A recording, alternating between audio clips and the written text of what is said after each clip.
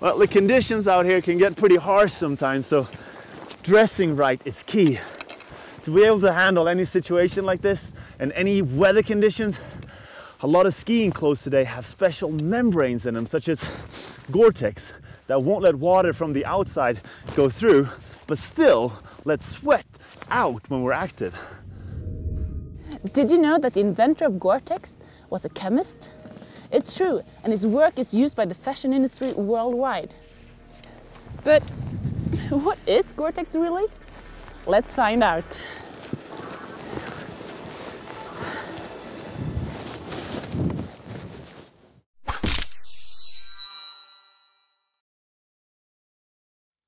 To find out more, I went to see Helene Andersson at Chalmers University of Technology.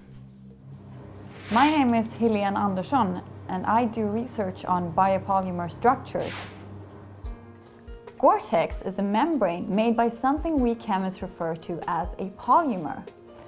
A polymer is a large molecule composed by units called monomers.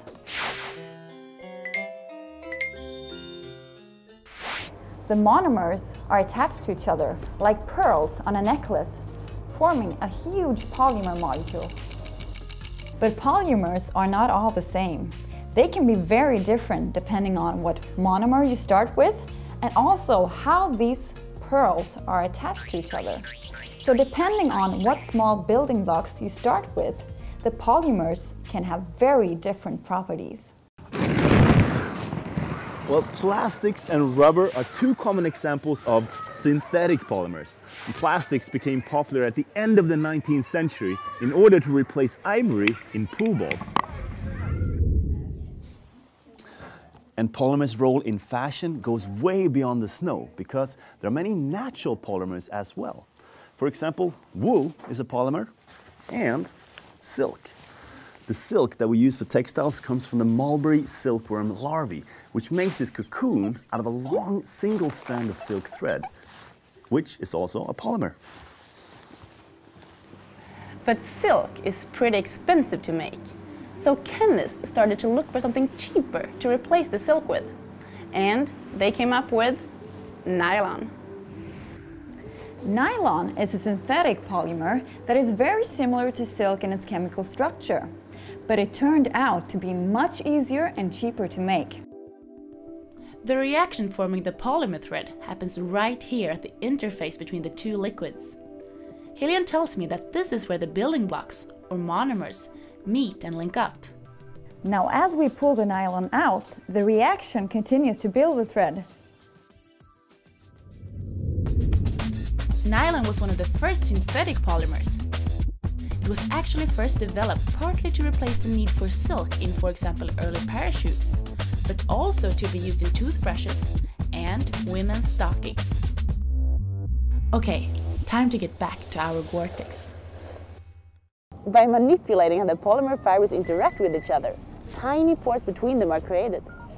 And the size of these pores are about 20,000 times smaller than a water droplet, but 700 times larger than individual water molecules.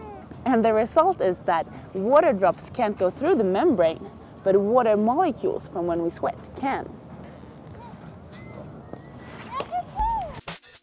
But just like the story of Gore-Tex started with a chemist who had an idea, nowadays new chemical research is resulting in new innovations for the textile industry. Such as textiles that can change color at different temperatures, or textiles that can conduct an electric current, or even shirts that can measure a person's heartbeat. All right, so we've learned that Gore-Tex and many textiles are made of polymers that are long thread-like molecules.